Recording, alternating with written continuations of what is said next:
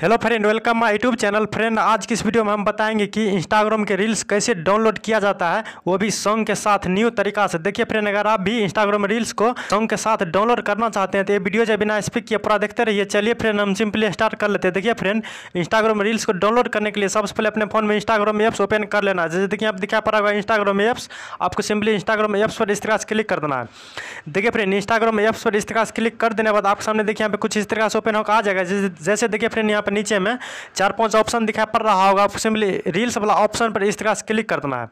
Reels वाला option पर click कर देने के बाद आपके सामने जैसे देखिए यहाँ पे कुछ इस तरह से ओपन होकर आ जाएगा। देखिए फ्रेंड जो भी रील्स को डाउनलोड करना चाहते हैं आपको सिंपली वाला रील्स को इस तरह से चूज़ कर लेना है। यानी कि या, या जो भी रील्स आपको अच्छा लगता है आपको सिंपली वाला रील्स को इस तरह से ढूंढ लेना है।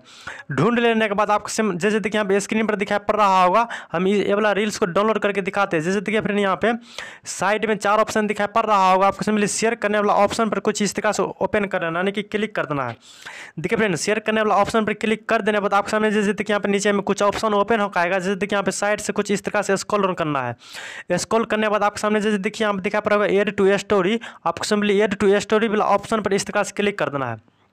देखिए फ्रेंड ये टू स्टोरी वाला ऑप्शन पर क्लिक कर देने बाद आप सामने देखिए यहाँ पे कुछ इस तरह से ओपन होकर आ जाएगा। आपको सिंपली इसको जो इस तरह से स्क्रॉल करके फुल स्क्रीन कर लेना है। फुल स्क्रीन कर लेने के बाद आप सामने जैसे उसके बाद देखिए यहाँ कॉर्नर में थ्री डॉट का सिंबल दिखाई पड़ रहा होगा। आपको सिंपली थ्री डॉट का सिंबल पर इस तरह से क्लिक करके, और उसके बाद देखिए यहाँ तीन, चार, पाँच ऑप्शन ओपन होकर आएगा आपको सिंपली सेब वाला ऑप्शन दिखाई पड़ रहा होगा। आपको सिंपली सेब वाला ऑप्शन पर इस तरह से क्लिक कर देना है। सेब वाला ऑप्शन पर क्लिक करने के बाद आप जैसे देखिए यहाँ पे प्रोसेसिंग दिखाई पड़ रहा होगा।